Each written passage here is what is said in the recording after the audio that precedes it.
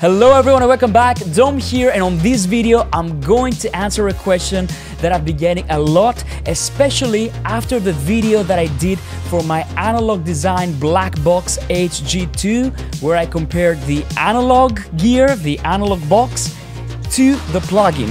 If you haven't watched this video, I'm gonna link it right here. So in this video, I'm going to show you how you can set up any piece of analog gear that you have so that you can use it as a plugin in Cubase coming up.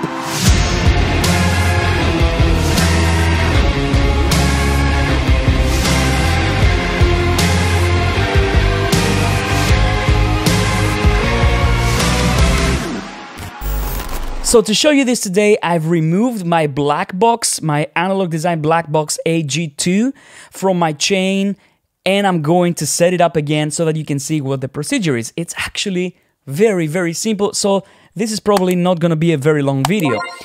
Let me show you how it works. First of all, you need to make sure that you know where you have connected your analog gear into your audio interface, right? Or your converter.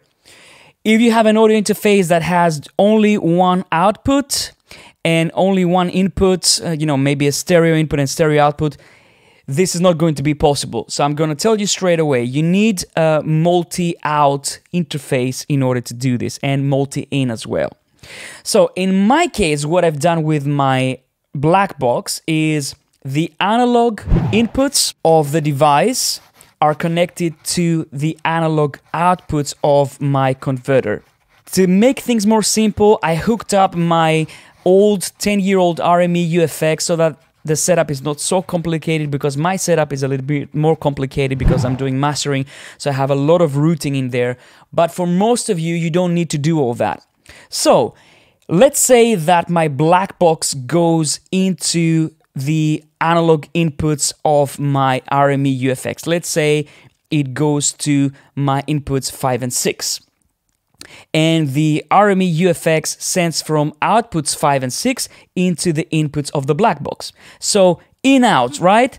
Output of the UFX, so whatever we send from Cubase goes into the inputs of the black box, okay, the two inputs left and right, and then the signal is processed by the black box and it goes from the outputs of the black box in the back to the inputs of the RME UFX in this case. Most of the times the setup that I use is my AXR with my Lynx Hilo. So let me show you how you can do this. It's actually very simple. All you need to do is go to Studio, go to Audio Connections, and this is where you set up your inputs, where you set up your outputs, and your control room. If you haven't watched the video about the control room that I've done, I'm gonna link it right here. And uh, as you can see, I have my monitors, I have my inputs right here where I have all the stuff that I use all the time. So my montage, my Sub 37, my OB6, my loopback, my Neve, uh, Portico, and so on and so forth. But what you want to go for is this tab, External Effects.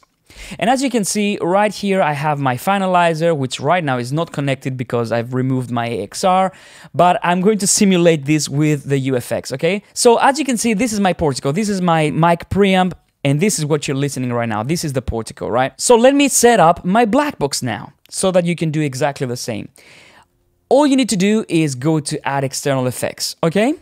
Add external effects. Let's name this. I'm going to name this black box. And because I also have the plugin, I'm going to call it analog. Okay, now we need to set up our configuration, our send configuration and return configuration. Now, for most devices that you're going to use either stereo, you can just leave it to stereo.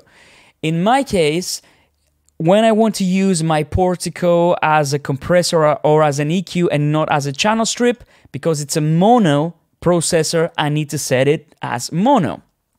It's very straightforward. But for now, we need to leave it at stereo. Hit OK, and here we go. Now we have our black box analog right here. Okay?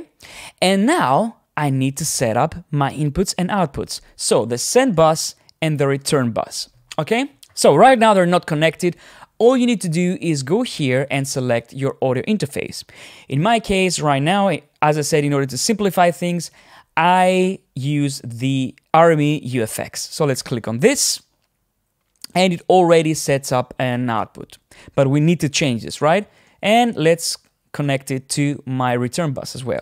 So what Cubase does in this case, it will add the first available free inputs and outputs that are not used for the inputs and they're not used for the outputs and they're not used for control room. It makes sense. But this is when you need to know where you have connected your audio interface. For example, if I have connected it to my analog 3 and 4, I have to select 3 and 4. In my case, because right now it's going to my ADAT input and output, I'm going to select ADAT 1 and 2. So this is the send bus. This is what comes out of Cubase, okay? It goes out of Cubase and into our analog device, into the black box in this case. Return is what comes back from the black box and goes back into our audio interface. And in this case, it should match. I totally suggest that you try and match them. So if you're sending out from ADAT1 and 2, come back to ADAT1 and 2. If you're sending out from analog 3 and 4, come back to analog 3 and 4. It's easier and it's more clean like this. So in this case, I'm going to select ADAT1 and ADAT2. Okay? Perfect. So now all the job is done inside Cubase. The next thing you need to take care of is the mixer on the audio interface level. And unfortunately, this is going to be different per audio interface. For example, in this case, for my RME, as you can see, I make sure that my black box, which is ADAT1 and 2, is turned all the way down. Why? Because you're going to hear the sound from Cubase. If you have this all the way up, you're going to hear the sound coming out of your analog device twice. You don't want that. And I also want to make sure that my output is all the way down as well, so that I don't hear it twice either there.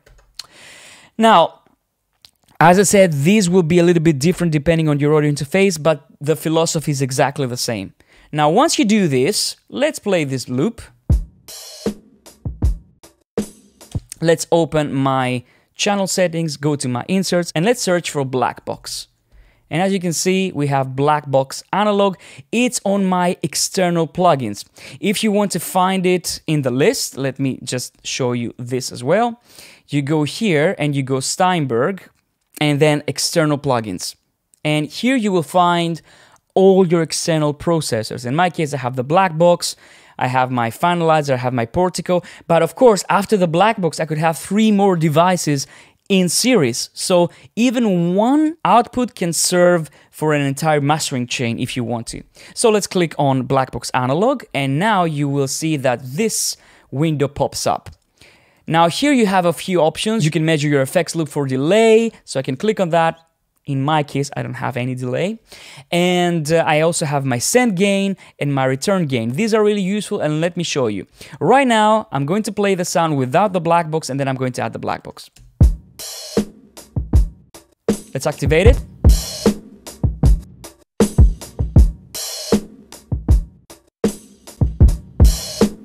Now, why are these two sliders useful? Because I might not want to oversaturate my black box or I might want to saturate my black box. So these sliders give me a lot of control on what kind of signal I feed my analog chain.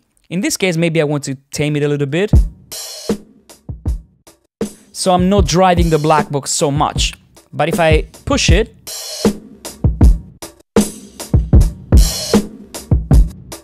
now I'm overloading my black box and because it's a tube device, it does give me a nice color. And then I have a return gain. Why is this important? Because some processors, you know, some uh, pieces of analog gear, they don't have an output trim control. So you might be going in too hot to your converters, maybe your audio interface or into your converters, right? So if you don't have an output trim, then you're in trouble. What this allows you to do is say, okay, I want to go back into Cubase in a more moderate level. So let me show you that as well. So I can overload the black box, but I can come back with a very safe signal right? So these two sliders are extremely useful. And that's what it is basically. The only thing that you need to keep in mind if you want to use external gear is that if you want to bounce your track down, it has to be done in real time, of course. And the other thing is if you want to bounce, let's say I want to bounce this one, I want to render in place, let's go like this and drive it a little bit and I go render in place, this also needs to happen in real time. So if I go channel settings, okay, so I can print my black box into this loop, I can just hit render, and then it will tell me that I need to render in real time. I click OK,